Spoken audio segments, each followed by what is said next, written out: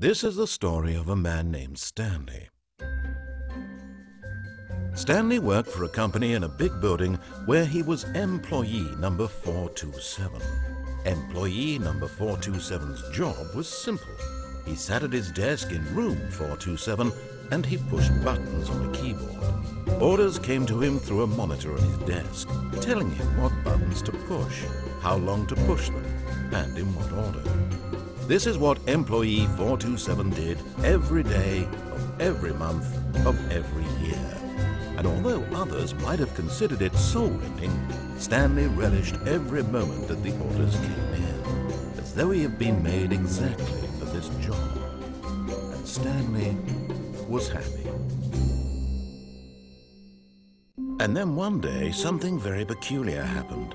Something that would forever change Stanley. Something he would never quite forget. He had been at his desk for nearly an hour when he realized that not one single order had arrived on the monitor for him to follow. No one had showed up to give him instructions, call a meeting, or even say hi.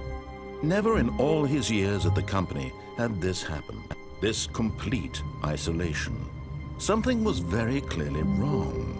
Shocked, frozen solid, Stanley found himself unable to move for the longest time. But as he came to his wits and regained his senses, he got up from his desk and stepped out of his office.